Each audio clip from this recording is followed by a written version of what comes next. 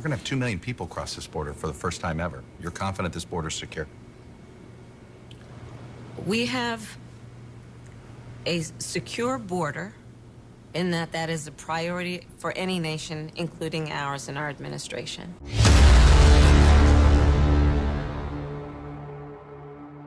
Hey guys, my name is DeVory Darkins. Welcome back to my channel. And in today's video, I'm going to be responding to all of this coverage that Kamala Harris is getting about her finally being the presumptive nominee for the Democrat Party. And we're actually going to talk about the facts and not the feelings because right now, what is being put up in front of us is how people feel and not actually what the facts are. And so I want to dedicate this video for the people out there that really want to know okay, what just happened? What just took place? Why is she all of a sudden the nominee? And is this somebody we should seriously be voting for? So before I get into the video clips and all that good stuff, you guys already know what to do. Like, share, and subscribe. Let's play the first video.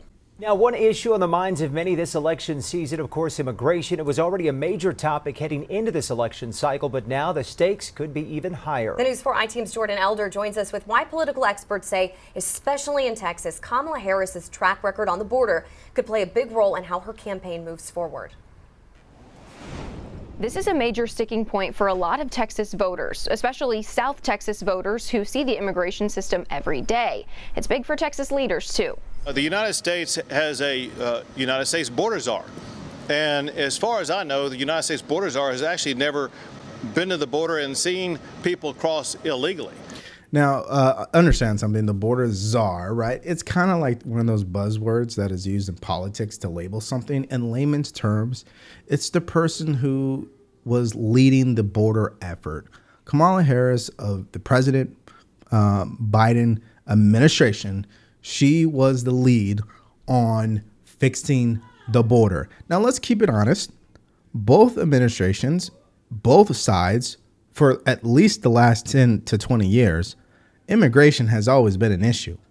But one thing's for sure over the last 20 years, we have never seen this amount of people crossing over the border. The number is up to 15 million, they're estimating okay, that, that they're estimating. All right. So uh, let's keep going here. Texas leaders often refer to Kamala Harris as the border czar. That stems from her 2021 assignment to address the root causes of migration. She was directed to oversee diplomatic efforts with other nations and help enhance enforcement at their borders. Well, obviously, the Republicans are going to make a great issue out of that, that you were in charge of the border. Look what you did, uh, and not in a good way. So that could be a negative for her. There's no question about that. And in the last 24 hours since her campaign launch, we've already seen it. Governor Greg Abbott posting on X saying, quote, the border czar has been an utter failure. And if she's elected, quote, I think I will need to triple the border wall, razor wire barriers, and National Guard on the border. The White House says Biden and Harris have secured more than $5 billion since 2021, going toward addressing economic issues in Central America, which is a key factor in why those residents migrate to the U.S. So you guys seen that, right? And what I really want you guys to understand that it's not about the color of her skin right? I mean, what we care about is will she be able to do the job? And one of the biggest things that we all have to come to the realization on, if you're truly looking at politics and you're really wanting to know what's true and what's real and, and you really want to be informed, you have to understand where she's coming from. Kamala Harris is coming from San Francisco, California, probably the most progressive city in the country. And it is not close. It is not close. California, the most progressive state in the country, it is not close. And so, if you're a person out there where you have been frustrated and fed up with the policies over the last four years and what has happened in your own personal life because everything is much more expensive, what do you think is going to happen when she gets into the office and becomes president? She's going to continue the same thing because that's what their policies are based on. So we have to understand what's really going on. And not only not only are these policies crazy, but the two big policies that people really have a problem with right now, the two big issues are immigration and the economy. So in regards to immigration, let's actually take a look at her history and see how she really feels about the border. Let's take a look at that. Okay. Do you have any plans to visit the border? I, at some point, you know, I, we are going to the border. We've been to the border. So You- this whole this whole this whole thing about the border, we've been to the border. We've been to the border. You haven't been to the border. I, and I haven't been to Europe. And I mean, I don't I don't understand the point that you're making. Yeah, so a while back, back in 2021, they were pushing her in regards to the border, right? The uh, president of the United States, President Biden, anointed her as the person who would take the lead on getting the border in control. Now, what's happening right now is the Democrats are pushing back on that idea. The media is pushing back on that idea that she has nothing really to do with the border. She never had really anything to do with the border. She never took the lead on the border. But guess what? We have the receipts. Let's take a look at that. I've asked her, uh, the VP today, because she's the most qualified person to do it, to lead our efforts with uh, Mexico and the Northern Triangle and the countries uh, that uh, help. Uh, we're going to need help in stemming the movement of uh, so many folks stemming the migration to our southern border. I mean, guys, going back and even listening to him back then is ah, that's terrible. Anyways, uh, as you can see, he's the one saying that she was the most qualified person to work with Mexico and Canada in regards to the increased uh, migration of people trying to cross the border. That's what he was trying to say.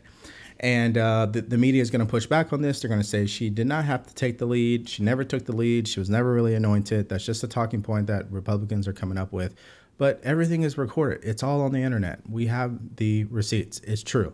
She was put in charge of the border. She failed that mission. Uh, President Biden failed that mission. So if people are going to go out there and vote for her because they are a person of color, what they're really voting for is what has taken place over the last four years will happen the next four years.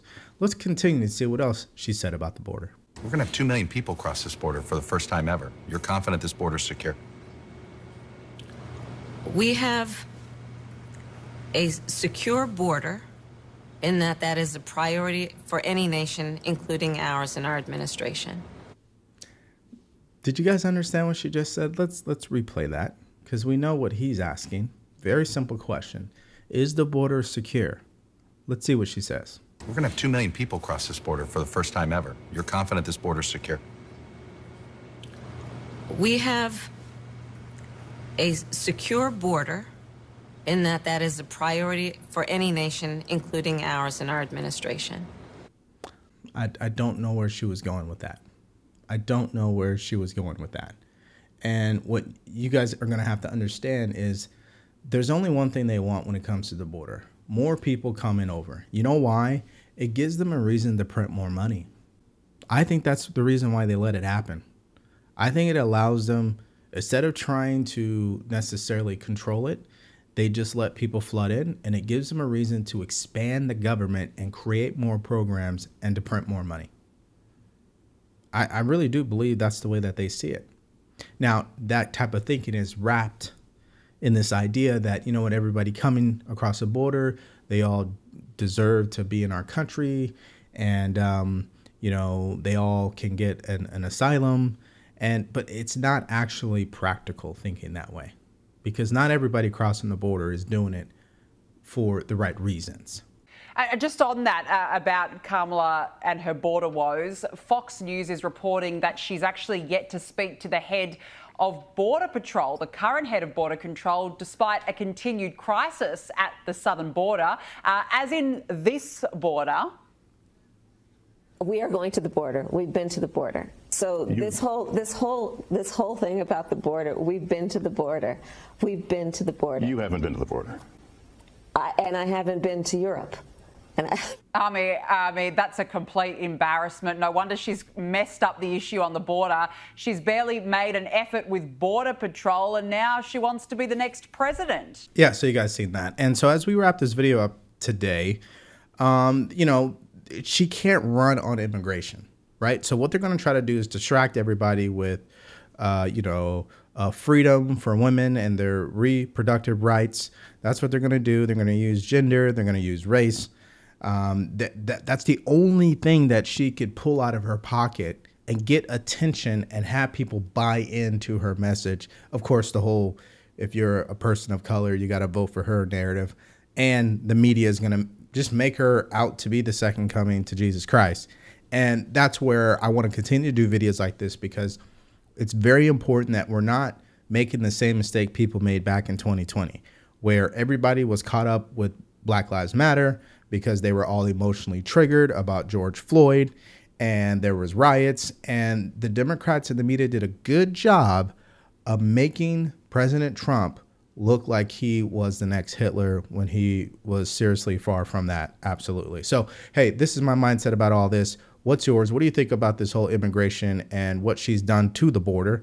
Uh, what do you think she's going to respond with? What do you think the Republicans should do or President Trump should do? Uh, I want to hear all this and more in the comment section below. Thank you for checking out the video today. I will see you in the next one.